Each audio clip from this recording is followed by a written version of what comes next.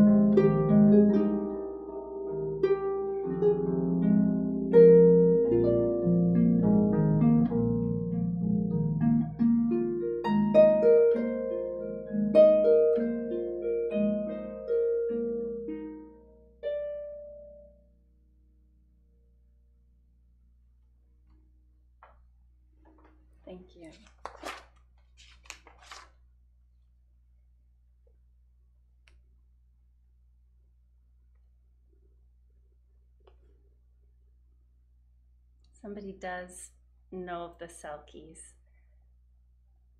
Mike does cut out the reverb.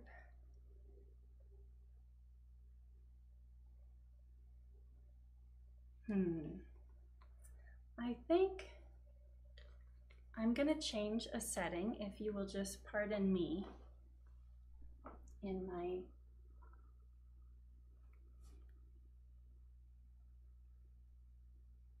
audio. By the way, in honor of this program, I'm wearing my travel dress. This is the dress that I take on all of my uh, trips because you can stuff it into a luggage and it comes out mostly unwrinkled. Okay, I'm gonna try that and we'll see if it's any better. Please comment one way or the other. All right, we are going to travel to the south of France now.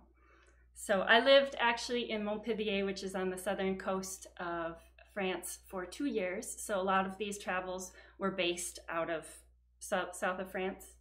Uh, but I was coming back after a summer spent in America and we had a fall retreat. And so um, my friend Jeanette and I took the train down to Sète, which is a small town south of Montpellier along the coast. And then another friend of ours picked us up to take us to our guest house. So we're driving through the French countryside, and at one point, my friend po pointed out the window, and we were right next to the sea, and it was getting a little dark at that point, and I just saw this three-masted ship It was out at sea, and it was lit from top to bottom. It looked like something out of the Pirates of the Caribbean uh, or out of Peter Pan, you know, when it's all covered in the fairy dust and um, it was just magical. My friend, he said he thought it was probably going to Morocco, and suddenly I just had this need to go to Morocco. Uh, I haven't been there yet, but hopefully someday. So I'm interested to know if you have, if you experience, you know, somebody just mentions a place and suddenly you desperately want to go there. Um, so to represent this in music, I've chosen a Cantiga de Santa Maria, and this is a group of about 400 or so pieces that were written in the 13th century in what is now Spain. And these were pieces that pilgrims possibly would sing as they were going on their pilgrimage.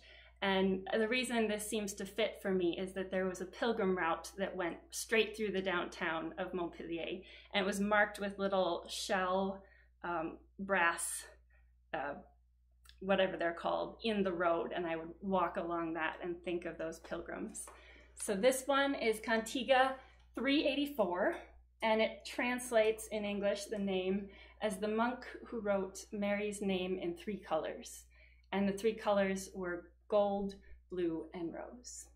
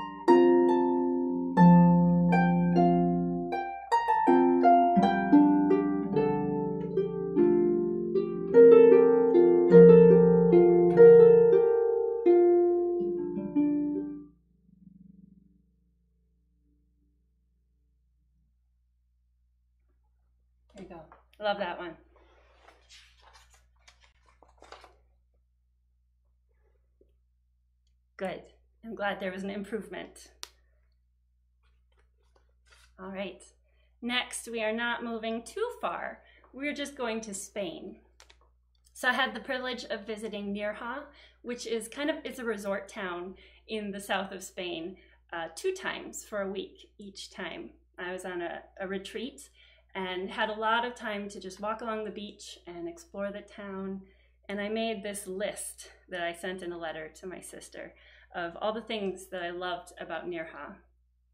It uh, starts wind whipped palm trees and deserted fire blackened brick ovens, and goats in pens and rows of cabbages, and old British couples and little kids on bicycles, colorful laundry, and Spanish music and clapping from behind plastic fences, and clouds resting threateningly over the hills. Orange trees and junky old cars like in America, and the smell of the sea. There is an air of happy dilapidation about the place. So I really enjoyed my brief, brief moment in Spain. So in honor of that, I have learned a Spanish dance. This was originally written for um, guitar, but then I've transcribed it here for the harp, and it is so fun. Here we go. Uh, the, the music that I bought for it just calls it Spanish dance. Uh, I'm curious to know if there's another name for it, so if you know it, please write it down for me. It's a traditional Scot or uh, Spanish tune.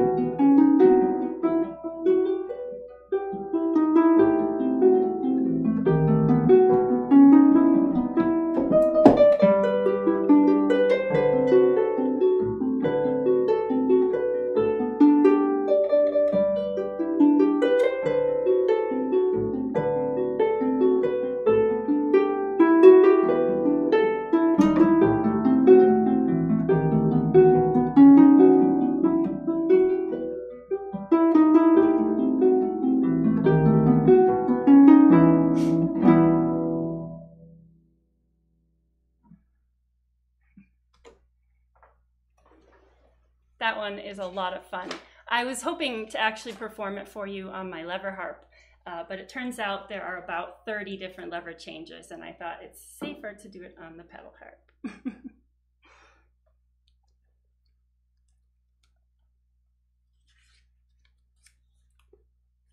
Our next stop on this vicarious vacation will be in Sorrento. So Sorrento is a city in southern Italy, and it's close to Pompeii. So my friends and I had taken the train down and we spent the day at Pompeii, which was great. But there is no shade whatsoever at Pompeii, except for that my friend Lisa had brought her umbrella and she very kindly lent it to me. Otherwise, I think I would have wilted um, and not loved it. But we got home to Sorrento. We were staying at an Airbnb and the thing that I remember the most about the city is that it has all these courtyards and high walls and narrow streets, but there were vines kind of spilling out into the street and they were covered in blooming flowers. So I remember it smelled really nice. And it was just this um, kind of weird garden feel in the middle of a city. Anyway, uh, we went swimming that evening uh, down in this little, it was just maybe 20 feet of rocks, but there was a beach there that you could go swimming. And there was just something magical about being near the city, but swimming in the bay, and we could see um, the mountain across the bay, and it was lovely. So then that night we went home to our Airbnb, and we didn't have a view of the bay. But if you stood on a chair on the balcony, you could see over the roof and you could see all the lights at night kind of wrapping around the bay. And my friend Aaron, he got up there and he looked, he said, It looks like somebody draped a whole bunch of Christmas lights across the shore. So I just loved that image. For this uh, city, for Sorrento, I'm going to play a piece called Reverie, and it is by Hasselmans, who is a famous French harp composer. And there's just something buoyant about it that reminds me of swimming in Sorrento.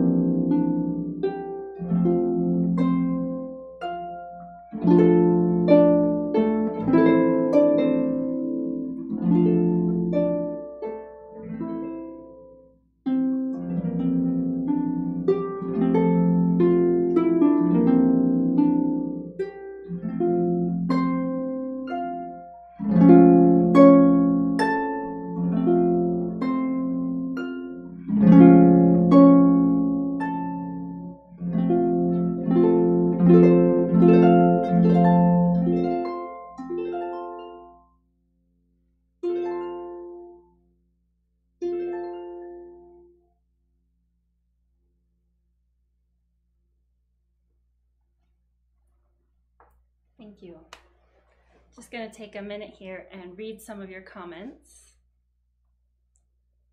Thank you for the applause. uh, good to see you all. Some of you, I don't know um, your names, you might be in disguise. Maybe I actually know you in person and I just don't recognize your name. Uh, all right. This next piece is inspired by a fortress in the north of France. So uh, it's called Mont, Saint Michel, and it is a peninsula, and sometimes it's an island, depending on the tide. But it sits all alone out uh, near the sea, and um, it looks like Minas Tirith or the castle at the beginning of Disney movies, uh, something like that. But I was able to visit with some friends, and I just fell in love with it. It's made out of stone, this gray stone, but it's all kind of turned green from kind of, uh, it's not quite moss. What is it? It's turned green. I liked it. Anyway, uh, what I wrote about it, there's a monastery that's right at the top. And I wrote, of all the religious places I have seen thus far in Europe, this was my favorite. Sitting on the plain wooden bench in the main chapel, slightly chilled and refreshed by the stormy sea air, I felt as if I could have been a nun. Here there was just stone and wood and a space to worship God. So I'm actually going to play for you a dance from Brittany. Uh, Mont Saint Michel is in Normandy, which is in the north of France, but uh, Brittany is the region that is just to the west of it. And it's a Celtic, it's one of the Celtic nations. And so this type of dance is called an andro. And the dance itself, you all hold pinkies in a line, and the line kind of snakes back and forth throughout the room as you go, and then your arms move up and down in time with the music. And it's really fascinating to watch. I, I tried it once and I didn't know what my arms were supposed to do, and so I ended up with really sore pinkies. People weren't being mean, you know, it's just like your arms don't know where to go. So this is an andro from Brittany.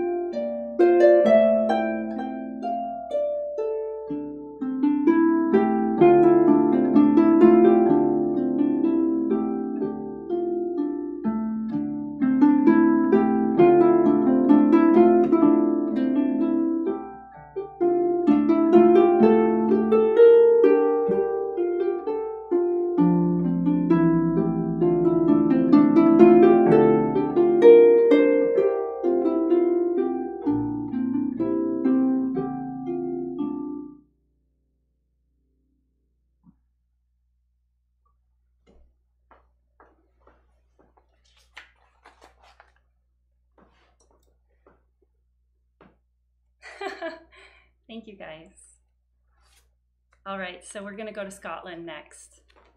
Uh, I'm not actually going to talk about the Scottish landscape because if you've been to a concert of mine before, you've probably heard me say how much I love it. Um, I'm going to share that we we're going to the castle Eilean Donan, which is uh, It's in the Highlands.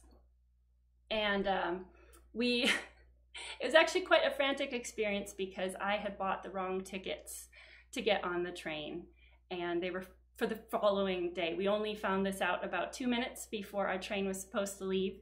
And so finally, the conductor uh, let us in, and then we were kind of hustling onto the train and trying to see okay, we need to buy new tickets now. How do we do that? Are we going to be able to get a refund for the old ones?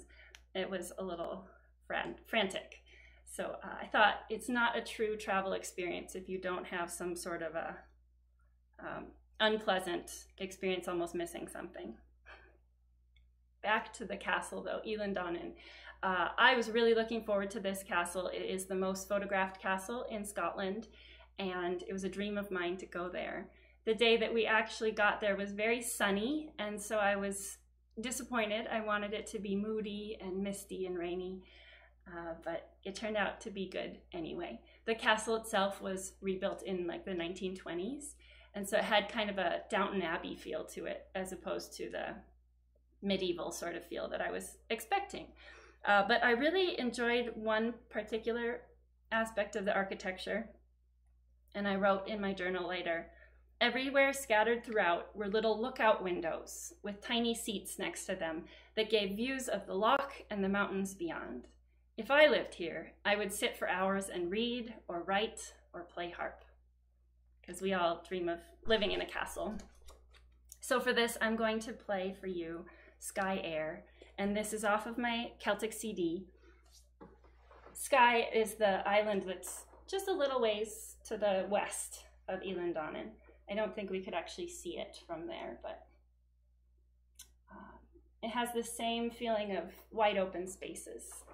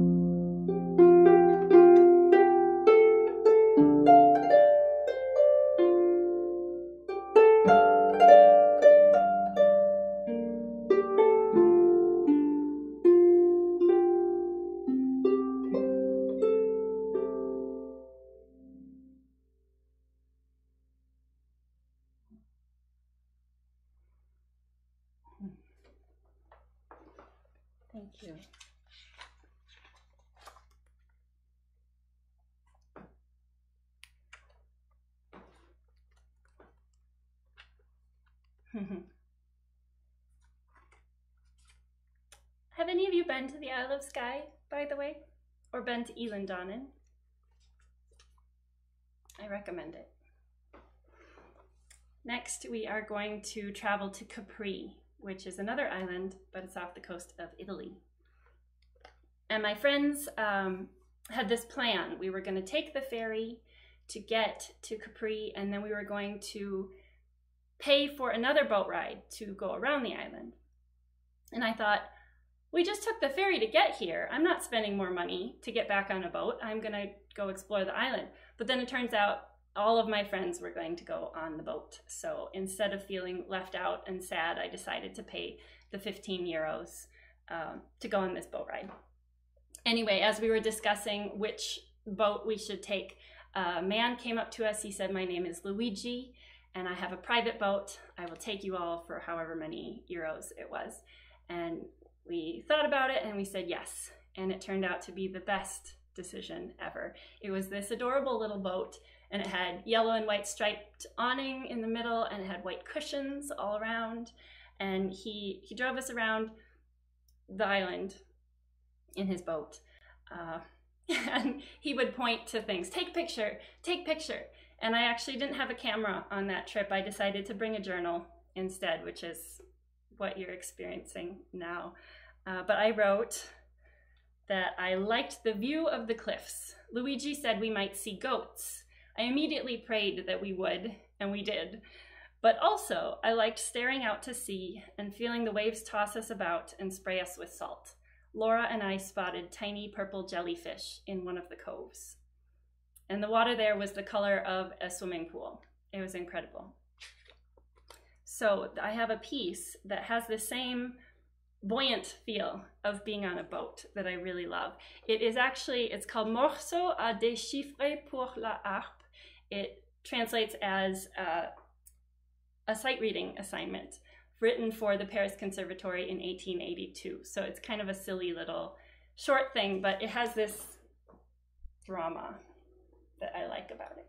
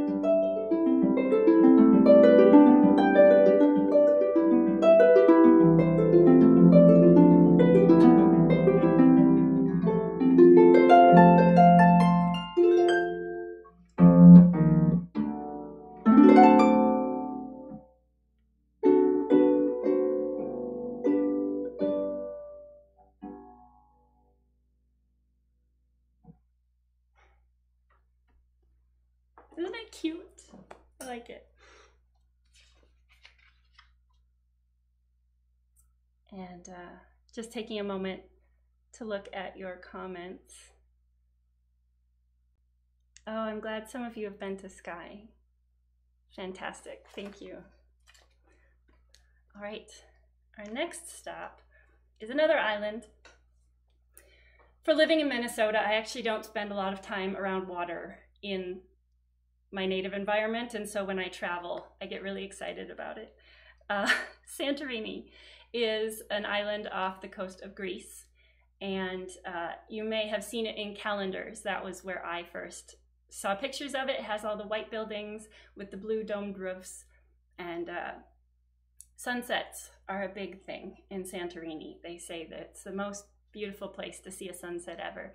So my friends and I, we looked up where are you supposed to watch these sunsets and there's a ruined castle they say was perfect. So we got there early and we set up and we were gonna enjoy everything. And a few minutes before the sunset there was this guitarist that came and set up and i was so excited. I thought this is going to be amazing. We're going to have traditional greek music to enjoy this sunset and the mood was going to be great. Uh, and then he started playing and he was playing american pop ballads from the 80s. And it was kind of a letdown because I'm not a huge fan of music from the 80s in general, but also it didn't seem to match in my mind at all what the soundtrack should be for that moment. So uh, this piece is closer to what I feel like it should have sounded. Um, I also wanted to just share that we did take the donkeys. Uh, you can go down to the shore and then take the donkeys up the steps to get back. And I do realize there is some controversy with this, um, which I was not aware of at the time. But I do feel like the donkeys that we rode were in very good health. And in fact, they were very enthusiastic. Um, I was kind of expecting it to be like riding a horse, where you get on the horse and you have reins and you have some sense of control over where you're going to go. And I also thought that the men who owned the donkeys would be coming up the steps with us. But Actually, it was just they got us all up on the donkeys and then they sort of said, go. And the donkeys ran and they had, um, I don't know if they, it was like they were racing each other and it was kind of scary, um, but fun. So there, there's a sense of excitement to that adventure that is in this piece, which is called Oopla. And this was written by Kim Robertson, who is an amazing Celtic uh, harpist and she gave me permission to play this today so thank you for that and this is kind of closer to the soundtrack I would have wanted for a sunset in Santorini.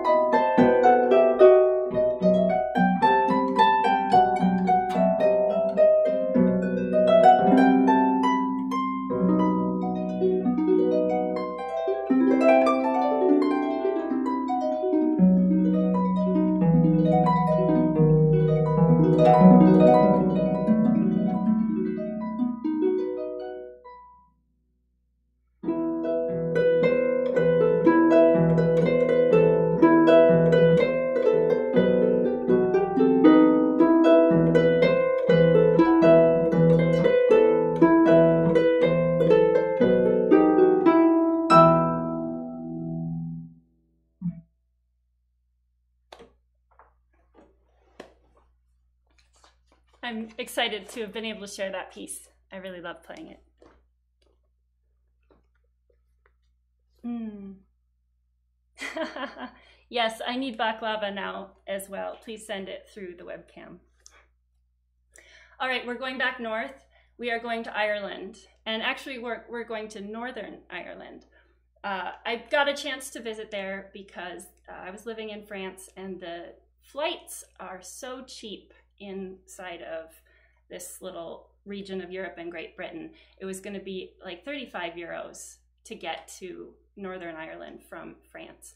And we picked Northern Ireland because a friend of ours who worked at the local Irish pub in France um, recommended. He said there are fewer tourists, and he was from Northern Ireland. So we asked him for a list of places to go, and he gave us a list that included 13 pubs, which was more than we could hit in five days for our group, but it was very kind of him.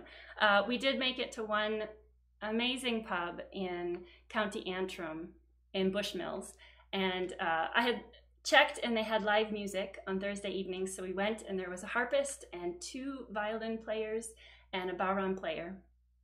And when I got to talking to them, the harpist so kindly let me actually play uh, two tunes with them. And she had her penny whistle ready. So she played with us. And it was just a dream come true to play in Ireland, Northern Ireland. Uh, the pub itself looked exactly like I imagined it would. I wrote it was beautiful. Hardwood floors, low beamed ceilings, and a roaring fire. The mantel decorated with copper kettles and the like.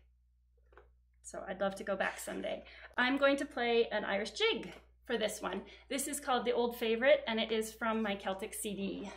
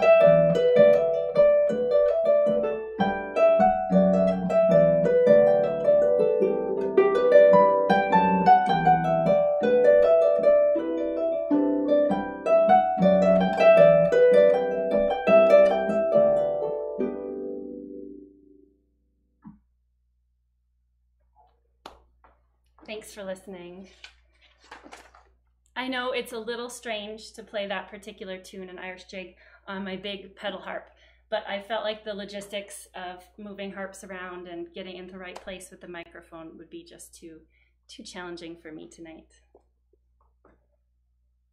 Oh, Sharon, I'm glad I'm making you smile.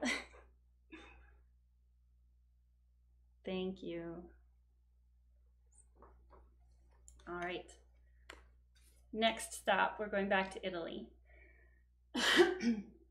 Piazza Navona is a plaza in Rome that I had no interest in seeing whatsoever, but my friends were excited to see it, so we stopped by, and it turned out to be a lovely, lovely little interlude. I'm interested to know if any of you have found places like that that you had no interest in seeing, and then it ended up being the most delightful thing ever. Um, if so, I want to hear about them. Um, but I just wrote that uh, it was beautiful to see Piazza Navona at sunset, filled with vendors selling scarves and artwork and light up squishy toys, which in my mind is associated with the 4th of July, but it really worked. It was, it was lovely. Uh, so I'm actually going to play an etude for you.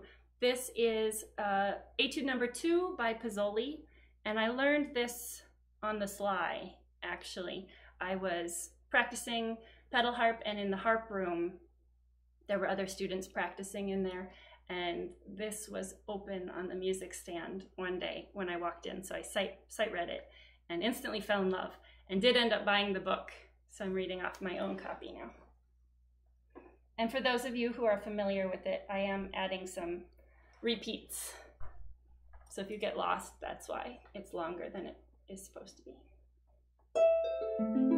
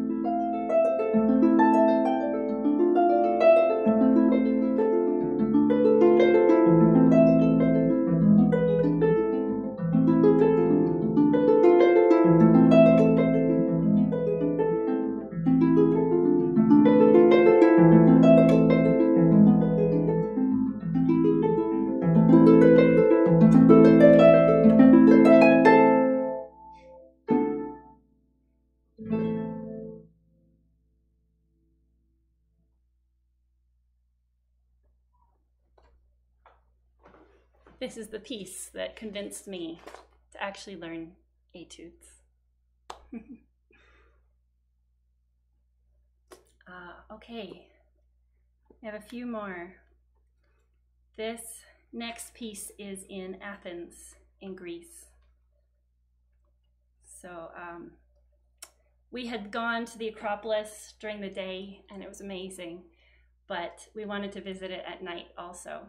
So all the hills around the Acropolis are covered in olive trees and they're open to the public so you can wander. So we went back at night and there was this opera that was playing in the amphitheater. It was Don Giovanni. I looked at a program and uh, you could hear the music and the singing kind of just drifting over the hills. So we went up to Mars Hill and it was beautiful. You could see all the lights of the city and you could also smell all the marijuana of the teenagers that were smoking up there. And so we thought we'd try find some place that was uh, a little bit more deserted. So there was a hill over here that we climbed and eventually just sat down at the top of the hill and we were kind of in this just little island of darkness surrounded by all the lights of the city. I wrote, We were in a dark island in a sea of golden lights. The Parthenon, one mountain over, glowed yellow against a black blue sky. The opera still continued, and music from the restaurants on the opposite side clashed faintly around us. We sat and drank it in. So I thought I'd play for you some opera. This is part of the intermezzo from the Cavalleria uh, Rusticana by Mascagni that I've played with orchestra before, but I just arranged this for solo harp for this occasion because I've been wanting an arrangement. So here we go.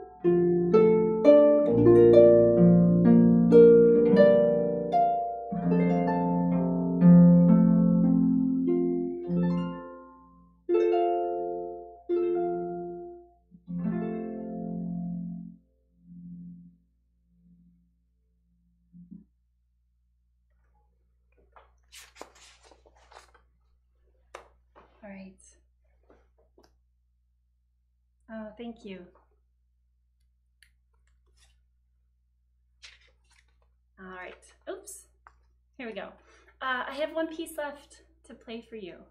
Thank you so much for accompanying me this far on this kind of weird little popping up all over the place.